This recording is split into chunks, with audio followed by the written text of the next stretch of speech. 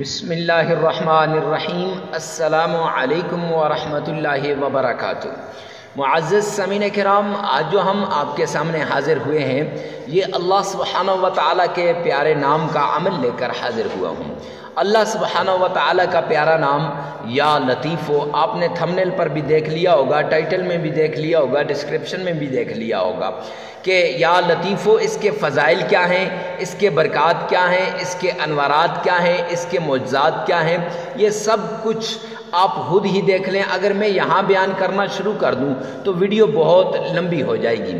لیکن سرسری سی بات کہتا ہوں کہ یا لطیفوں کو ہاتھ کی انگلیوں پر روزانہ سو مرتبہ پڑھنے سے انسان کو کیا ملتا ہے؟ وہ اب معجزات کو اپنی آنکھوں سے دیکھ لے گا اس عمل کو کرنے کے بعد۔ اور اگر کوئی شخص سات دن تک گل، ایک گلاس پانی پر وہ یا لطیفوں کا یہ عمل کر لے اگر کسی مریض کو پلائے گا، رب کائنات کی قسم کہ وہ مریض صحت یاب ہو جائے گا۔ اگر اس کے گھر میں لاچاری ہے، تنگ دستی ہے، فقر و فاقہ ہے، غربت ہے، تو انشاءاللہ لاچاری، تنگ دستی، غربت، فقر و فاقہ سب ایسے چلا جائے گا جیسے تھا ہی نہیں۔ اور ہزاروں لوگوں کی زندگیاں اس نام کے ذریعے سے، اس اللہ کے پیارے نام کے ذریعے سے، پیارے اسم کے ذریعے سے بدلتے اپنی آنکھوں سے دیکھی ہیں اور جو شخص اس عمل کو کرے گا، اس کی زندگی بھی بدل جائے گی۔ یہ زندگیوں کو بدلنے والا عمل ہے، یہ مشکلات سے نکالنے والا عمل ہے، یہ تکلیفوں کو دور کرنے والا عمل ہے۔ یہ اللہ کے قریب کرنے والا عمل ہے۔ جب انسان اللہ کے قریب ہوتا ہے، اللہ کی یاد میں اللہ کو یاد کرتا ہے، تب اللہ سبحانہ و تعالیٰ کے غیبی خزانوں کے دروازے کھل جاتے ہیں، اللہ کی رحمت کے دروازے کھل جاتے ہیں اور یہ انسان پھر مشکلات سے نکل جاتا ہے۔ اور جب مشکل کے اندر گرا ہو، تکلیف کے اندر گرا ہو، مصیبت کے اندر گرا ہو، پھر پرائے تو پرائے، بیگانے تو بیگانے، اپنے بھی ساتھ چھوڑ جاتے ہیں۔ ایک ایک کر کے پھر وہ دور ہو جاتے ہیں۔ ایسے وقت میں پھر پتہ چلتا ہے کہ مولا کریم میرے ساتھ کون ہے اور میرا دوست کون ہے اور میرا دشمن کون ہے۔ میرے ساتھ کون ہے اور مجھے چھوڑ کے جانے والا کون ہے۔ آپ نے مایوس نہیں ہونا۔ جیسے بھی حالات آپ پر آ جائیں، جیسی بھی کنڈیشن آ جائے، جیسی بھی سچویشن بن جائے، آپ نے اللہ کے حضور، اللہ کے دربار میں جھک جانا ہے۔ اور جھک کر آپ نے اللہ کے اس پیارے نام کا ورد کر لینا ہے۔ اب یہ ایک گلاس پانی پر آپ نے اس کا ورد کرنا ہے۔ تو میں سب سے پہلے آپ کو یہ بتاتا ہوں کہ اس ایک گلاس پانی کے ساتھ آپ نے کیا کرنا ہے۔ ایک گلاس پانی کو آپ نے اس پر یہ عمل کرنے کے بعد تین برابر حصوں میں تقسیم کرنا ہے۔ ایسے تین حصوں میں پانی کو تقسیم کرنا ہے۔ جو اوپر والا حصہ ہوگا، سب سے پہلے والا حصہ اس کو آپ نے چھت میں پر پرندوں کے آگے ڈال لینا ہے۔ یا کسی کھلی فضا میں پرندوں کے آگے ڈال لینا ہے۔ ارے مفتی صاحب، اس کا کیا فائدہ ہے؟ تو اس کے دو فائدے ہیں۔ ایک فائدہ یہ ہے کہ مخلوق خدا کی خدمت ہو جائے گی۔ اللہ سبحانہ و تعالیٰ کی مخلوق کی خدمت ہو جائے گی۔ اور مخلوق کی جب انسان خدمت کرتا ہے، تو اس سے اللہ راضی ہوتے ہیں۔ رب راضی ہوتا ہے مخلوق کی خدمت کرنے سے۔ نمبر ایک۔ دوسری بات یہ ہے کہ آپ کی طرف سے صدقہ نکل جائے گا۔ جو لوگ کہتے ہیں غریب ہیں، تنگ دست ہیں، ہم صدقہ نہیں دے سکتے۔ حضرت، ہم کیا کریں؟ تو ان کے لیے یہ ہے کہ وہ جب یہ پرندوں کے آگے پانی ڈالیں گے، یہ ان کی طرف سے صدقہ بھی ہو جائے گا۔ معزز سمین کرام، اب دوسرا جو پانی آپ نے دوسرا حصہ کیا ہے، اس کو گھر کے کھانے پینے والے برتن میں ڈال لینا۔ ارے مفتی صاحب، گھر کے کھانے پینے والے برتن میں ڈالنے سے ہمیں کیا فائدہ ہوگا؟ تو معزز سمین کرام آپ نے دیکھا ہوگا گھر کے اندر لڑائیاں ہیں۔ بچے بچے سے لڑ رہے ہیں، والدین آپس میں لڑ رہے ہیں، اولاد آپس میں لڑ رہی ہے، ماں باپ آپس میں لڑ رہے ہیں، رشتہ دار آپس میں لڑ رہے ہیں۔ ہر طرف لڑائی جھگڑا، کھانے پہ بیٹھے لڑائی۔ اور کہیں کسی جگہ میں اگر اکٹھے ہو گئے تب لڑائی۔ تو لڑائیاں ہی لڑائیاں ہیں۔ جب آپ یہ پانی اس پانی سے کھانا پکائیں گے یا پینے والی کوئی چیز پکائیں گے، تو جو جو آدمی اس کو استعمال کرے گا، انشاءاللہ اس کے دل سے نفرت ختم ہو جائے گی اور اس کے دل میں پیار اور محبت بڑھ جائے گا۔ یہ عمل کرنے کے بعد۔ اور اکثر آپ نے دیکھا ہوگا کہ گھروں کے اندر غربت ہے۔ تنگ دستی ہے، فقر و فاقہ ہے، لڑائیاں زیادہ ہیں۔ معزز سمین کرام، سرور کونین، تاجدار مدینہ، جناب نبی کریم صلی اللہ علیہ وآلہ وسلم کا فرمان علی شان اٹھا کر دیکھے کہ میرے آقا نے فرمایا کہ جس گھر میں لڑائیاں ہوں گی، جس گھر میں لڑائی جھگڑا ہوگا، وہاں تنگ دستی ڈیرے ڈال دے گی۔ وہاں غربت ڈیرے ڈال دے گی، وہاں فقر و فاقہ ڈیرے ڈال دے گا۔ آج ہر گھر میں لڑائی ہے اور پھر کہتے ہیں، حضرت ہمارے حالات ٹھیک نہیں ہوتے۔ تو اس لیے یہ پانی جب آپ پلائیں گے تو انشاءاللہ اس سے پیار محبت بڑھ جائے گا۔ اور پیار محبت جب بڑھے گا، اتحاد و اتفاق آئے گا۔ اور اتحاد و اتفاق کی وجہ سے آپ کے گھر سے تنگدستی لچاری، غربت یہ ختم ہو جائے گی۔ اکثر آپ نے دیکھا ہے کہ معاشرے کے اندر آپ جہاں زندگی گزارتے ہیں، وہاں پر کچھ لوگ آپ پر آپ کی ترقی کو نہیں دیکھ سکتے، کامیابی کو نہیں دیکھ سکتے۔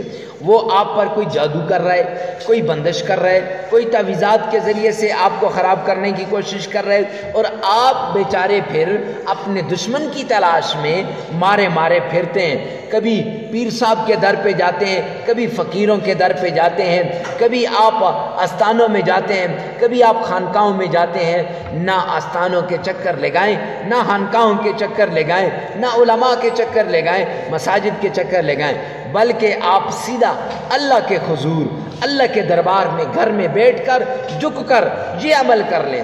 اب یہ جو تیسرا ایسا ہے نا، تو اس کو آپ گھر کے چاروں کونوں میں، اس میں اور پانی ملا کر چاروں کونوں میں چھڑک دیں گے۔ تو اس سے کیا ہوگا؟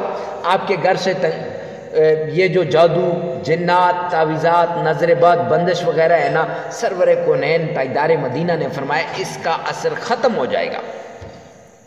لیکن معزز سمین کرام، بات یہ ہے کہ ہم نے کبھی یہ عمال کیے ہی نہیں ہیں۔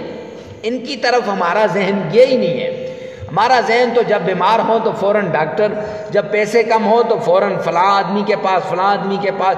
اس لیے آپ نے سب سے پہلے یہ عمل کرنا ہے۔ تو جب یہ ایک گلاس اور یہ یاد رکھیں، تین دن عمل کر رہے ہیں، تب بھی اس ایک اسی طرح ایک گلاس پر کریں گے، پانچ دن کر رہے ہیں، سات دن، اور ہر روز نیا پانی لینا ہے، اور اس کے بعد آپ نے اس کو استعمال کرنا ہے۔ اب یہ ہو گیا۔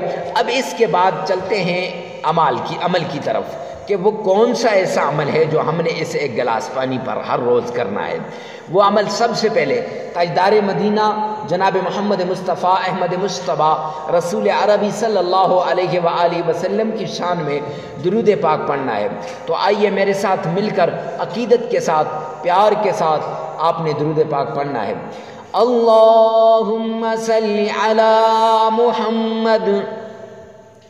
وعلى آل محمد كما صليت على إبراهيم وعلى آل إبراهيم. إنك حميد مجيد. اللهم بارك على محمد وعلى آل محمد كما باركت على إبراهيم وعلى آل إبراهيم إنك حميد مجيد. یہ درود پاک نماز والا درود پاک آپ نے تین مرتبہ پڑھنا ہے۔ اور معزز سمین کرام یہ نماز والا درود پاک ہی کیوں؟ اور تین مرتبہ ہی کیوں؟ اس کے بارے میں میں آپ کو حوالہ دیتا ہوں۔ جامعہ ترمزی جلدوم کے اندر سرور کونین، تاجدار مدینہ، جناب نبی کریم صلی اللہ علیہ وسلم نے فرمایا کہ جو شخص تین مرتبہ مجھ پر درود پاک پڑے گا۔ فرمایا، وہ اللہ کی ذمہ داری میں آ جائے گا۔ اور جب بندہ اللہ کی ذمہ داری میں آتا ہے، تو پھر بندے کے سارے کام بننے لگ جاتے ہیں، خود ہی ہو جائیں گے۔ دنیا کا کوئی ایم پی اے، میں نے ذمہ داری اٹھائے انسان کتنا خوش ہوتا ہے۔ چاہے جائے کہ جو احکم الحاکمین ہے، بادشاہوں کا بادشاہ ہے، سارے جہانوں کو پالنے والا، سارے جہانوں کو رزق دینے والا جب ذمہ داری اٹھائے گا، تو پھر کیا بنے گا؟ اس لیے تین مرتبہ آپ نے درود پاک پڑھنا ہے۔ تو درود پاک پڑھنے کے بعد آپ نے، یا لطیف یا رزاق، یہ دو نام ہیں اللہ کے۔ ایک ہزار ایک بار آپ نے پڑھنے ہیں، ایک ہزار ایک بار آپ نے یا لطیف و یا رزاقوں کو آپ نے پڑھنا ہے، ایک گلاس پانی پر پڑھنا ہے۔ معزز سمین کرام جب آپ پڑھ لیں گے، پھر اس کے بعد آپ نے قرآن پاک کی چھوٹی سی صورت ہے۔ وہ صورت کون سی ہے؟ اعوذ باللہ من الشیطان الرجیم۔ بسم اللہ الرحمن الرحیم۔ قل هو اللہ احد اللہ السمد لم يلد ولم يولد. ولم يكن له كفوا احد یہ یہ آپ نے یہ صورت آپ نے کتنی گیارہ مرتبہ پڑھ لینی ہے اور پھر اس کے بعد آپ نے تین مرتبہ درود پاک، وہی نماز والا درود پاک، درود ابراہیمی پڑھنا ہے۔ تو لوگ کہتے ہیں جی یہ درود ابراہیمی ہی خاص کیوں؟ اس لیے کہ آپ روزانہ پانچ وقت اس کو پڑھتے ہیں اور یہ وہ درود پاک ہے جس میں اکثر لوگوں کا تلفظ صحیح ہوتا ہے، اکثر لوگوں کو یہ درود پاک آتا ہے۔ تو معزز سمین کرام، ویڈیو کو ثواب کی نیت سے صدقہ جاریہ سمجھ کر آگے شیئر کرنا مت بھولیے گا۔ اللہ میرا اور آپ کا حامی و ناصر ہو۔ اور یہ وظیفہ آپ تین دن بھی کر سکتے ہیں، پانچ دن بھی کر سکتے ہیں، سات دن بھی کر سکتے ہیں۔ اپنی ضرورت کے مطابق، اپنی جو آپ کو ریکوائرڈ ہوگی، اپنی جو ہے ریکوائرمنٹ کے مطابق آپ نے یہ عمل کرنا ہے۔ اپنی خواہش کے مطابق جو آپ کی ضرورت ہے، اس ضرورت کے مطابق اس عمل کو کرنا ہے۔ اللہ میرا اور آپ کا حامی و ناصر ہو وسلام